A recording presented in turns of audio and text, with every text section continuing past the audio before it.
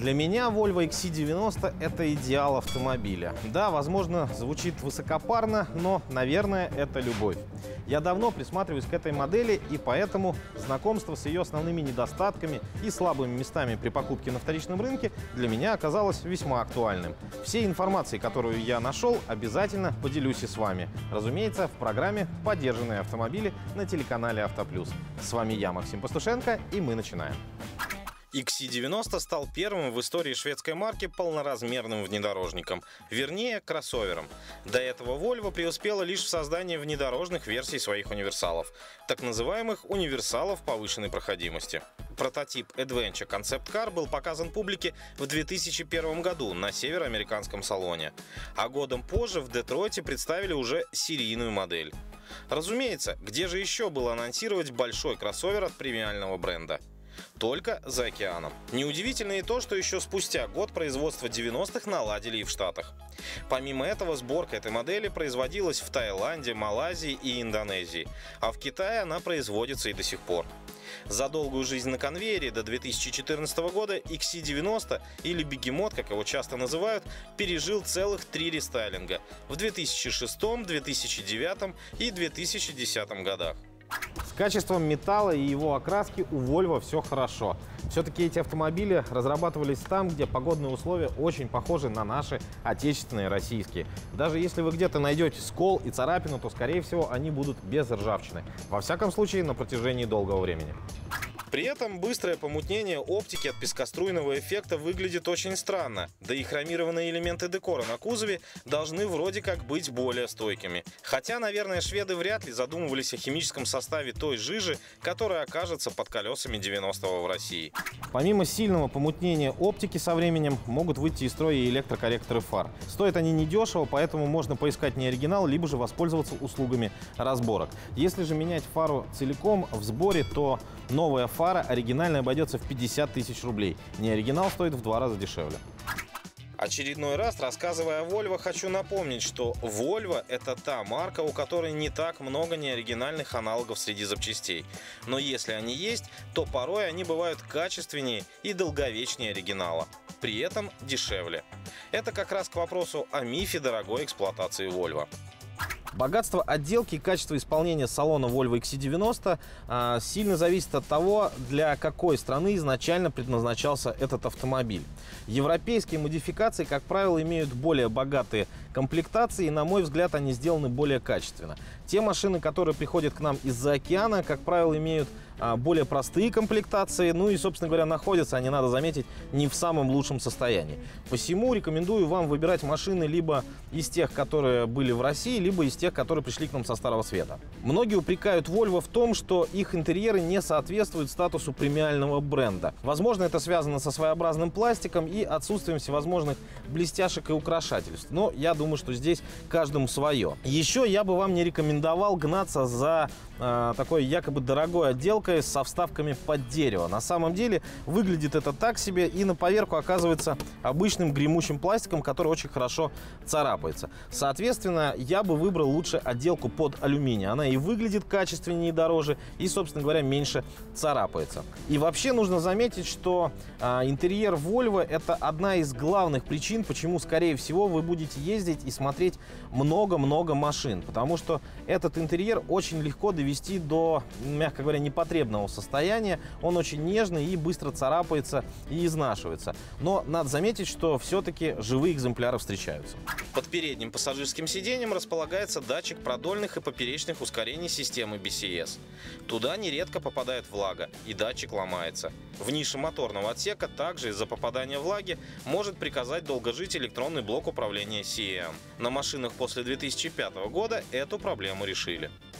Все двигатели, которые устанавливаются на Volvo XC90, по большому счету соответствуют общей концепции самого автомобиля. Если за ними хорошо ухаживать, то проблем с ними долгое время не будет. На данном автомобиле установлен мотор объемом 2,5 литра, бензиновый, и главным его недостатком является периодическое засорение маслоотделителя системы вентиляции картерных газов.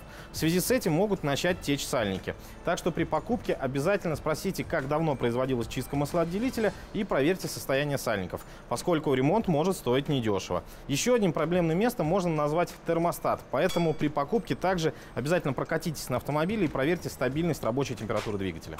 Шестицилиндровые атмосферные моторы, которые пришли на смену турбированным в 2007 году, тоже вполне надежны. Нарекания вызывали только машины как раз того самого 2007 года из-за проблем с маслоотделителем.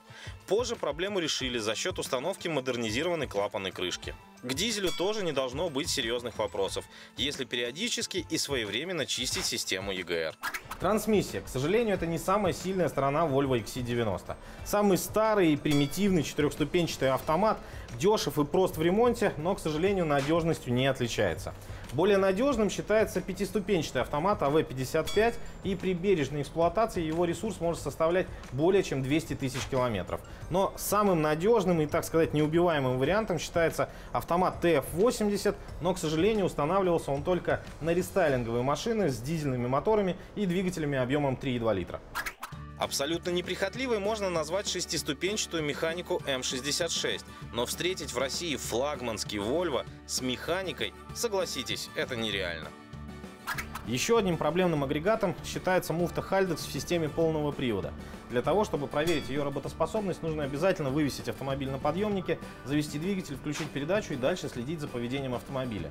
Если карданный вал не крутится, значит изношена втулка углового редуктора. Если карданный вал крутится, но задние колеса стоят на месте, значит проблема или в насосе, или в модуле управления задним дифференциалом.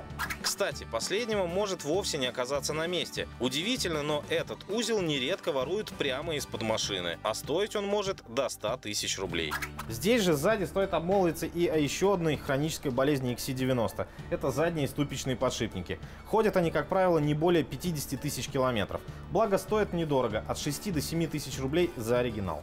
Кстати, опять же нельзя не обмолвиться о разных странах производства этой модели. Подвески европейских машин и тех, что прибыли к нам из-за океана, могут отличаться. Не будем судить, что лучше, а что хуже, просто констатируем факт. Да и при большом пробеге амортизаторы и пружины могут уже быть вовсе не теми, что были установлены на заводе. При наличии посторонних шумов и стуков при повороте руля, либо при проезде неровностей, обязательно обратите внимание на состояние рулевой рейки.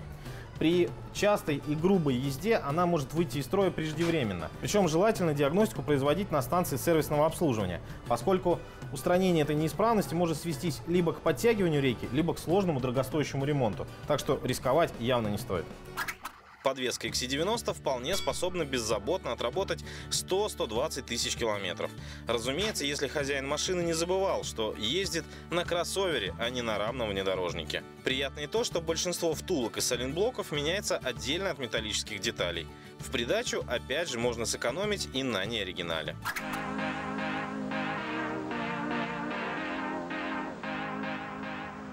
Можно, конечно, сколько угодно рассуждать о премиальности интерьера Volvo, можно сколько угодно рассуждать о премиальности внешнего вида Volvo. Но то, что XC90 едет как настоящий премиальный автомобиль, это безоговорочно. Я думаю, что а, даже те, кто каким-то образом скептически относится к шведским автомобилям и к Volvo в частности, а, я думаю, что единожды прокатившись на этой машине, а, резко сменят свою позицию. И на самом деле любовь к воле у меня началась а, где-то около 8 лет назад, когда я впервые поездил на XC90. У меня была очень сложная зимняя поездка в Нижний Новгород на этом автомобиле.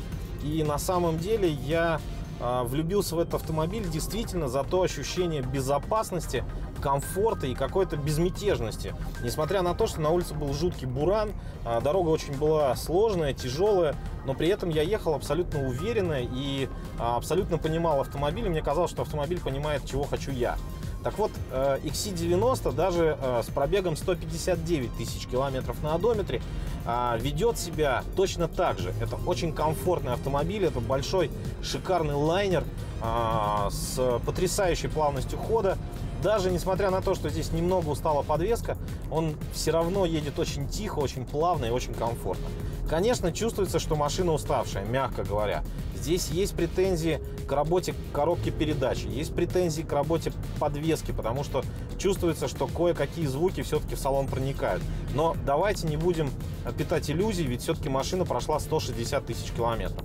Куда больше вопрос у меня а, вызывает то, что здесь практически полностью матовое лобовое стекло. И меня удивляет то, что владелец Volvo а, дорогого автомобиля, премиального автомобиля, за все время эксплуатации ни разу не озадачился заменой лобового стекла. В конце концов, это не так дорого, ведь даже можно поставить неоригинальное стекло по цене 5000 рублей, например. То есть это не такая большая трата.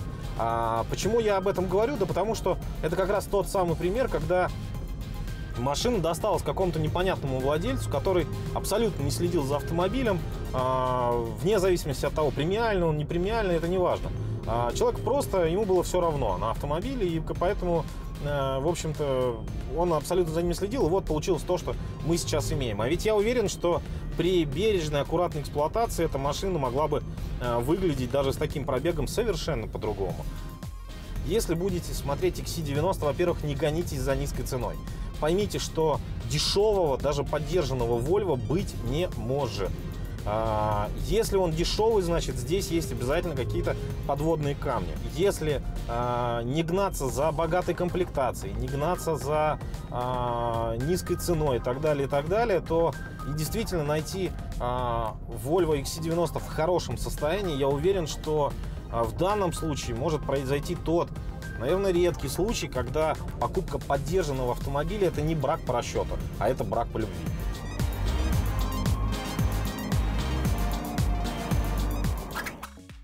Несмотря на свою премиальность и статус бренда для любителей, Volvo XC90 не самый редкий автомобиль на отечественном вторичном рынке. Более того, разнообразие вариантов и цен откровенно удивляет. Есть экземпляры за 250-300 тысяч рублей, но это скорее уже тот самый случай, когда люди готовы покупать премиум, имея деньги на поддержанный Логан. Не совершайте таких ошибок. Верхняя планка цен на машины первого поколения находится на отметке 2 миллионов рублей. Если суммировать вышесказанное, то не пытайтесь купить XC90 дешевле 1 миллиона рублей. Вряд ли это будет удачной покупкой. Кто бы что ни говорил, а Volvo все же премиальный бренд, а значит все его модели требуют к себе соответствующего отношения. Ведь даже надежный Volvo XC90 можно довести до состояния 20-летних «Жигулей». А значит выбирайте экземпляры, которые были в заботливых и аккуратных руках. И будет вам простое шведское счастье. Вы смотрели программу «Поддержанные автомобили» на телеканале «Автоплюс». С вами был я, Максим Пастушенко. Обещаю, в следующий раз снова будет что-нибудь старенькое.